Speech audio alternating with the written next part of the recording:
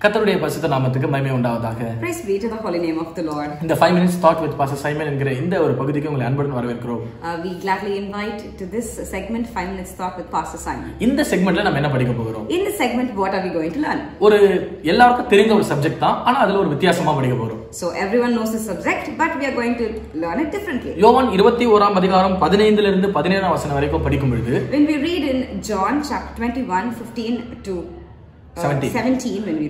அது ஆண்டவராக இயேசு கிறிஸ்து அஹ், பேதுருவை பார்த்து கேட்ட ஒரு மிகவும் பிரபலமான கேள்வி so this was a very famous question where Jesus Christ looked at Peter and asked, மூன்று வாட்டி பேதுருவை பார்த்து கேட்கிறார் நீ இடத்தில் அன்பா இருக்கிறாயா அன்பா இருக்கிறாயா அன்பா இருக்கிறாயா என்று Jesus asked this question thrice to Peter, saying, uh, Do you love me? Do you love me? Do you love me? ஆ, ஏன் கர்த்தர் மூணு வாட்டி பேதுரு கிட்ட கேட்டார் Why did Jesus ask three times to Peter?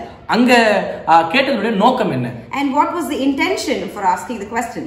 ஆ, பிரியமானவர்களே நமக்கு தெரிந்தது போல எல்லாவற்றையும் பின்பதாக ஒரு நோக்கம் இருக்கிறது So, dear people of God, as we all know, uh, we have an intention, a desire for asking everything. ஆ, நான் இதை ஃபைவ் மினிட்ஸ் தாட் என்று சொன்னாலும் இதுல கூட கொஞ்சம் டீகோட் பண்ண வேண்டிய வார்த்தைகள் இருக்கிறது Even if I call this five minutes thought with Pastor Simon, this has some decodation for the words. பிரியமானவர்களே இந்த அன்பு என்ற வார்த்தைக்கு இங்கிலீஷ்ல லவ் என்ற ஒரு வார்த்தை தான் சொல்லுகிறோம் So, when we say uh, love, there is only one word for that.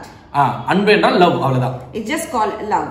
ஆனால் கிரேக்க பாஷையில அன்புக்கு அநேக வார்த்தைகளை கொடுத்திருக்கிறாங்க But when we see in the language Greek, we have so many different words for that. இந்த இடத்துல இயேசு கிறிஸ்து பேதுருவை பார்த்து கேட்கும்போது கூட அவர் சாதாரண வெறும் லவ்ன்ற அந்த வார்த்தை இல்ல கிரேக்க பாஷையை படிக்கும் பொழுது இந்த லவ் என்ற வார்த்தைக்கு இயேசு கிறிஸ்து யூஸ் பண்ண பதம் வந்து agape So, when Jesus Christ questioned Peter, he did not just question about love, but when we look into the Greek language, the instead of love, it's written as ahabe. அந்த Agape என்ற வார்த்தைக்கு உங்களுக்கு எல்லாம் தெரியும் unconditional love So, ahabe means everyone knows it is meant as unconditional love. ஒரு தியாக அன்பு எதையும் எதிர்பார்க்காத ஒரு அருமையான ஒரு விலையேற பெற்ற அன்பு தான் agape So, unconditionally loving someone, you're not expecting anything from that, that is only called as ahabe. இயேசு கிறிஸ்து பேதுருவை பார்த்து நம்ம ஆக்சுவலி நம்ம தமிழ்ல இங்கிலீஷ்ல படிக்கும்போது நமக்கு ஒரு லவ் அன்பு அன்பா இருக்கிறாய் அன்பா இருக்கிற அப்படித்தான் ஆனா கிரேக்க பாஷைல அந்த அன்பு என்ற பதத்துக்கு வித்தியாச வித்தியாசமா யூஸ் பண்ணியிருக்கிறாங்க இந்த ஒரு கான்வர்சேஷன்ல So, when we read about this particular conversation in the Bible,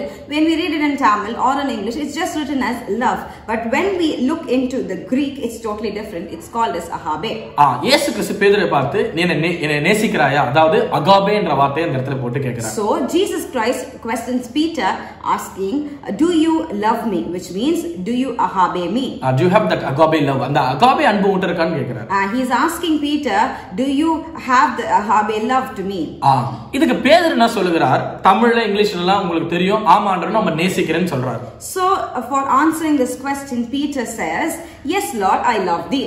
ஆனால் மூல பாஷையாக கிரேக்க பாஷையில பேதுரு நம்ம நேசிக்கிறேன் அந்த நேசம் அல்லது அன்பு என்ற பேதுரு யூஸ் பண்ண வார்த்தை வந்து அகாபே இல்ல அது வந்து philo So, when Peter uh, is answering Jesus Christ saying that he loves him, that doesn't mean uh, just affection or just love, but it shows philo. ஆ இல்ல அந்த பிலோ என்ற வார்த்தையை யூஸ் பண்ணார் Uh, he's using philo, the Greek word. ஆ ஆனால் இயேசு கிறிஸ்து கேட்டது agape But Jesus Christ is looking at Peter and asking, Ahabe. ஆனா இவர் ரிப்ளை பண்ணது இல்ல philo But he's replying, No, God, it's philo. பிலோனாவுடைய அர்த்தம் என்ன தெரியுமா Philo means what is the meaning of philo that? Philo என்றால் ஒரு ஃப்ரெண்ட்லியான அன்பு ஒரு dearly love So, it means a friendly love or a dearly love. ஆனா இயேசு இது கேட்கறது ஃப்ரெண்ட்லி லவ் கேட்கல அவர் வந்து unconditional love தியாகமான அந்த அன்பு அகாபே பத்தி கேட்கிறார் But Jesus Christ is not looking at Peter and asking about a friendly love or a dearly love, but he asked the unconditional love, the ahabe love. சரி முதல் வாட்டி பேதர் இப்படி சொல்லிட்டாருன்னு ஆண்டர் ரெண்டாவது வாட்டி மறுபடியும் கேட்கிறாரு பேதுருவே நீ என்னை நேசிக்கிறாயா அதாவது இந்த அகாபேன்ற வார்த்தையை போட்டு கேட்கிறாரு So the first time itself, Peter answered about Philo. So Jesus did not want this answer. So the second time also, he is asking the same question to Peter. அப்பவும் ரெண்டாவது பீட்டர் வந்து ஆமாண்டவரே நாம நேசிக்கிறேன்னு சொல்றாரு ஆண்டரும் ஆடுகளை மேய்ப்பாயாகன்னு சொல்றாரு ஆனா ரெண்டாவது வாட்டியும் பீட்டர் கொடுக்கிற ரிப்ளை வந்து அவர் சொல்ற அன்- அன்பு வந்து லவ் வந்து பிலோ தான் So Jesus Christ is looking at Peter and asking about the Ahabe unconditional love. Yet Peter answers God, uh, saying that he is loving God like Philo. ஆ இப்ப மூன்றாவது வாட்டி என்ன நடக்குதுன்னா ஆண்டர் கேட்கிறாரு பேதுருவே நீ என்ன நேசிக்கிறேன்னு மூணாவது வாட்டி கேட்கிறாரு So the third time also, Jesus is questioning Peter the same question, Peter, do you love me? ஆ, இந்த இடத்துல இயேசு அகாபேயை பத்தி சொல்லல But in this place, Jesus Christ is not talking about Ahabe love. இந்த இடத்துல அவர் வந்து ஒரு படி இறங்கி வந்துட்டு அவர் பிலோ தான் கேட்கிறாரு So, in this place, Jesus Christ itself is coming down and he is asking, Do you have the love of Philo to me? ஆ, மூணாவது வாட்டி ஆண்டரை கேட்ட உடனே பைபிள் சொல்லுது பேதுரு ரொம்ப துக்கப்பட்டாரா கிரீவ்டுன்னு இங்கிலீஷ்ல இருக்கு Uh, in English, it's written as when God is asking this question, Peter is grieved about this. ஆனால் மூணாவது வாட்டி என்ன சொல்றாருன்னா பிலோ தான் சொல்றாரு But thirdly, also, Peter is asking the same answer, Philo. பிரியமானலே இதை கேட்கும் போதே உங்களுக்கு அதை உட்கருத்து புரிஞ்சிருக்கும் Dear people of God, when you're listening to this itself, I guess you would have understood the meaning behind it. ஆண்டவர் உங்ககிட்ட எதிர்பார்க்கறதெல்லாம் agape God is expecting to from us ஆனா நம்ம ஆண்டருக்கு நம்ம நேசிக்கிறோம் ஆனா பிலோ டியர்லி அதாவது ஃப்ரெண்ட்லி லவ் தான் ஆண்டர் மேல வைக்கிறோம் So we yes we love God, but we are having a friendly love on God. ஆனால் ஆண்டவர் ஃப்ரெண்ட்லி லவ் நம்ம கிட்ட கேட்கல But God is not asking a friendly love to us. அவர் அகாபவே எதிர்பார்க்கிறார் He is expecting Ahabe. அந்த unconditional love நம்ம கிட்ட எதிர்பார்க்கிறார் He is expecting an unconditional love from us. நீங்க கேட்கலாம் அவரு எப்படி இந்த மாதிரி அன்பெல்லாம் என்கிட்ட இருந்து எதிர்பார்க்கலாம் You may also ask, how is he expecting this type of a love from us? இந்த அன்பை எதிர்பார்க்கறதுக்கு அவருக்கு மட்டும்தான் உரிமை இருக்குது Only he has the right to expect this type of a love from us. ஏன்னா பைபிள் சொல்லுது நாம் பாவிகளா இருக்கையில் கிறிஸ்து இயேசு நமக்காக மரித்ததினாலே அன்பை விளங்க பண்ணினார் So it the Bible says that as we were yet sinners, God has revealed his love. அந்த அன்பு என்ற வார்த்தைக்கு கிரேக்க பாஷை இந்த இடத்துல அகாபேன் தான் போட்டிருக்கு for that verse, the love means in Greek uh, language, it's written as Ahabe. அந்த அகாபே அன்கண்டிஷனல் லவ்னால தான் கர்த்தர் இந்த பூமியில வந்து நமக்காக ஜீவனை தந்தார் அதனால அவருக்கு ரைட்ஸ் இருக்கு அந்த அன்பை நம்ம கிட்ட எதிர்பார்க்கறதுக்கு Because of the unconditional love that he has kept on us, he has given his life to us.